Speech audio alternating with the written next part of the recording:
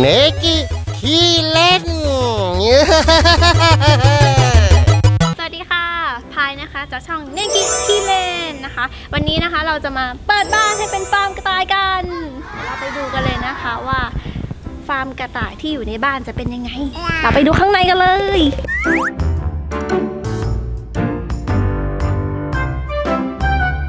ก่อนจะไปทำความรู้จักกับน้องๆนะคะ เรามาดูก่อนว่าฟาร์มกระต่ายที่เราทำในบ้าน อันนี้คือต้องใช้อะไรบ้างนะคะ อันนี้เลยค่ะ เริ่มจากการล้อมรั้วก่อน อันนี้ก็คือเราใช้เป็นแบบตะข่ายลวดอะใส่ไว้ข้างในแล้วก็ยึดเอาลวดยึดไว้นะคะ แบบอย่างนี้เพื่อแบบว่าไม่ให้น้องสามารถดันออกไปได้นะคะ ตอนทำก็คือทำรอบเลย อุปสรรคอยู่ที่ต้นไม้ คือต้นไม้อะมันปลูกติดกับรั้วอยู่แล้วใช่ไหมแล้วเราจะใส่รั้วสอดเข้าไปเพื่อให้รั้วอยู่ในอยู่ในอยู่ด้านในได้อะคือยากมาก คือตอนทำทำกันสองคนกับพี่เนกินะคะ ดึงช่วยกันดึงช่วยกันดันจนแบบเจ็บมือเลือดไหลเต็มไปหมดเลย แต่ก็คือแบบประสบความสำเร็จภายในระยะเวลาประมาณ3 ชั่วโมง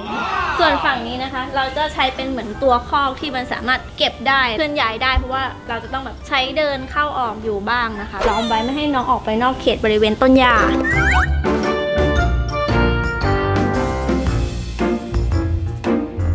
มากันเลยน้องๆกำลังนอนนิ่งเลย อันนี้ย่าจริงย่าเทียมเขาเนี่ยยากจริงค่ะ แต่คือตอนนี้มันฟูมากเลยมันสูงแล้วกำลังแบบว่าหน้าแบบวิ่งเล่นอะ นุ่มมากเลยอะแต่เดี๋ยวอีกสักพักจะต้องตัดแล้วนะคะ อันนี้ตัวแรกนะคะ พี่ดัมโบนั่นเอง พี่ดัมโบ พี่ดัมโบตอนนี้อายุประมาณ 5 เดือนแล้วค่ะ5เดือนตัวใหญ่มาก แต่พี่ดัมโบน่ารักมากเลย พี่ดัมโบนอน เออ พี่ดัมโบนอนเลยเอ้พี่ดัมโบเก่งมากเลย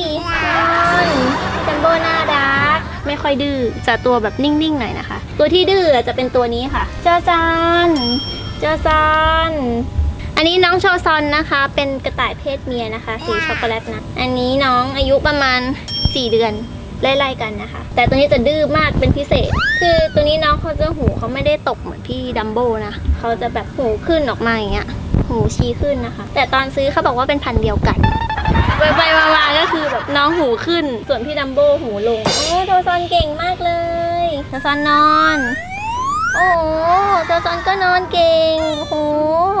บตาด้วยโทซอนหลับตา เก่งมากโทซอนหลับเหมือนจริงเลยไม่ให้กินนมนอน นอนโทซอนนอนสอนอย่างนี้ได้ด้วยเหรอพี่กระต่าย ก็คือถ้าเกิดสมมติว่าคุยกับเขาบ่อยๆเล่นด้วยอะไรเงี้ยเขาก็จะเหมือนเขาฟังรู้เรื่องอะก็จะเหมือนคล้ายๆหมาแต่อาจจะไม่ได้รู้เรื่องเหมือนหมาอะไรเงี้ยแต่ก็น่ารักน้องน่ารักมากแล้วก็คือแบบไม่ได้ดื้ออย่างที่คิดนะ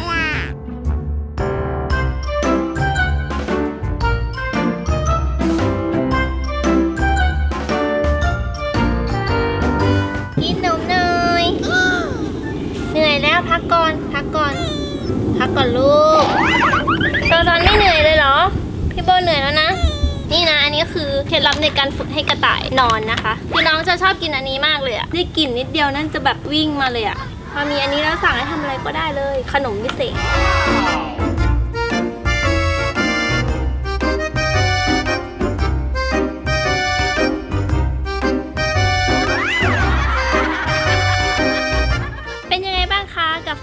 ต่ายในบ้านของเรานะคะ จริงๆแล้วการทำฟาร์มกระต่ายในบ้านก็ไม่ยากเลยนะคะ แค่กันพื้นที่ให้น้องๆปลอดภัยอยู่ในบริเวณที่เราจัดเตรียมไว้นะคะน้องๆจะได้ไม่หลุดออกไปข้างนอก แล้วสำหรับใครนะคะที่มีสัตว์เลี้ยงอยู่ที่บ้านก็สามารถทำแบบนี้ได้เหมือนกันนะคะสำหรับใครนะคะที่ชื่นชอบคลิปนี้นะคะ ก็ฝากกดไลค์กด subscribe ให้กับดัมโบและก็โชซอนนะคะ ที่ช่องเนกิคิเลนได้เลยนะคะสำหรับใครที่อยากติดตามความน่ารักของน้องๆก็คือเข้าไปดูในช่องดัมโบกับโชซอนได้เลยนะคะ วันนี้ขอลาไปนอนก่อนนะคะ น้องๆเริ่มง่วงกันแล้ว ดูความง่วง บ๊ายบา